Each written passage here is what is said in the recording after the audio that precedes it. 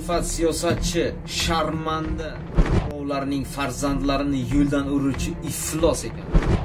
Hech kimga ravo ko'rmayman. Iflos odam sharmanda assalomu alaykum vatandoshlar. Bugun siz bilan qisqa bir videoda bir mavzu ustidan to'xtalib o'tmoqchiman. Facebook tarmoqlarida bir insonni ko'rib qoldim. Har bir chiqishlarida do'ppilar kiyib chet eldan yaktaklar kiyib bir qarasang ilmdan dars beradi bir qarasang yaxshi o'gitlar beradi nasihatlar beradi. Shu bir insonni qiyofasiga qarab qanaqaligini bilmas ekansan. Bir faqir odam o'ta pastkash boydan sadaqa so'rabdi. Shunda boy mening bir ko'zim sunniy. Shuni topsang bir dollar senga sadaqa beraman debdi. Kambag'al boyning ko'ziga qarab o'ng ko'zing sunniy ekan debdi. Boy qanday bilding bu ko'zimni? Dunyodagi eng zo'r doktorga qo'ydirgan edim. Hech kim sezmaydi deganda ku desa shunda haligi faqir to'g'ri doktor aytibdi. Sezish qiyin ammo o'ng ko'zingda boshqalarnikidek odamgarchilik mehr insof sezilib turibdi. Bu esa sizga yot xislatlar shundan bildim degan ekan bu bilan nima demoqchiman? Odamni ko'ziga qarab dilini bilmaysan ko'ngliga qarab ichki dunyosini bilmas ekansan. Ko'z dilning oynasi degani bu rost ekan. Men bu namoz nurmo'minning facebookdagi bir necha chiqishlarini kuzatdim. Ko'zoynak taqib olib soqolni qo'yib ko'zoynak taqishi tomoshabinlarda hayotda katta tajribaga ega bir mehribon farishtali otaxon tasavvurini uyg'otishga harakatdan boshqa narsa emas. Soqol qo'yish do'ppi kiyish ko'zoynak taqish bu hali komil inson degani emas. Ahmad yassaviyning aytganidek so'fi naqsh bo'lding vali hargiz musulmon bo'lmading. Bu aynan gaplar namoz nurmuminga tegishli. Namoz nurmumin uning ko'zida mehri yo'q nuri yo'q samimiyati yo'q. Yaqinda uning facebook messenjeridan e, yozishmalarini skrinshotlarini tashlab berishdi. Buni sizga havola qilish uchun fursat topa olmadim jur'at qila olmadim. Ammo sizlarni ogohlantirish har bir insonning majburiyatidir. Buni siz montaj desalaring adashasizlar. Isbot dalil bilan keltirib beraman ammo qizlarni ismlarini shariflarini oshkor qila olmayman chunki qizni ham qavmi qarindoshlari bor.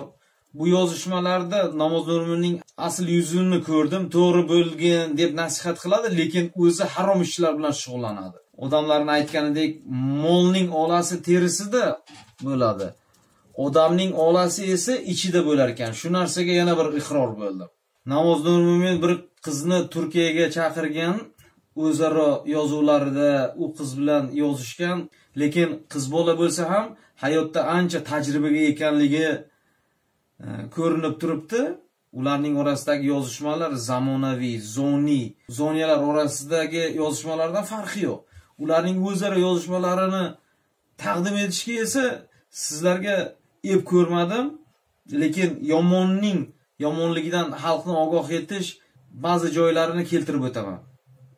Namoz men shunday yozgan ekan o'qib beraman sizlarga.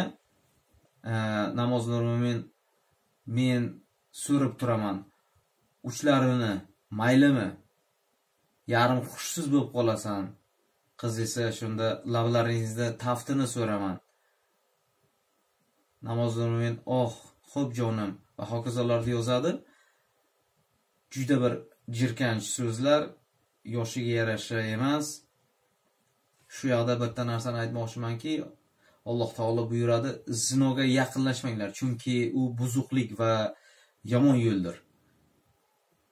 Yoshi oltmish uch. Yoshda oltmish to'rtga yetgan inson soqol qo'ygan do'ppi kiygan nursiz ko'zlariga ko'zoynak taqqan go'yoki farishta muxolif siyosatchining asl qiyofasi basharasi shu yozishmalarda ko'rinib turibdi. Payg'ambarimiz muhammad sallallohu alayhi vasallam uch toifa odam bor. Qiyomat kuni uch toifa borki olloh ularga gapirmaydi ularni poklamaydi ularga qaramaydi va ularga alamli azoblar bordir. Zinokor qariya yolg'onchi podshoh va mutakabbir kambag'al imom muslim qalamidan.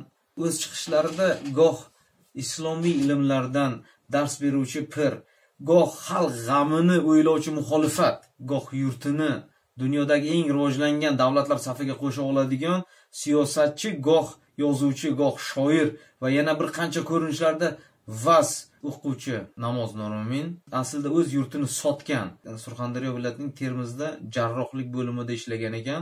O'z yurtini sotgan xalqini o'z yo'lidan urib qo'zg'olonga boshlovchi o'zgalarning bokira qizlarini yo'ldan urib aysh qiluvchi zinokor gapini tayini yo'q betayin. O'z manfaati yo'lida sodda kishilarni jarga qulatuvchi pastkash ekanligini har chiqishida fosh bo'lmoqda. O'zbekistonda siyosatiga keladigan bo'lsak tashqaridan turib hukumatni tanqid qiladi.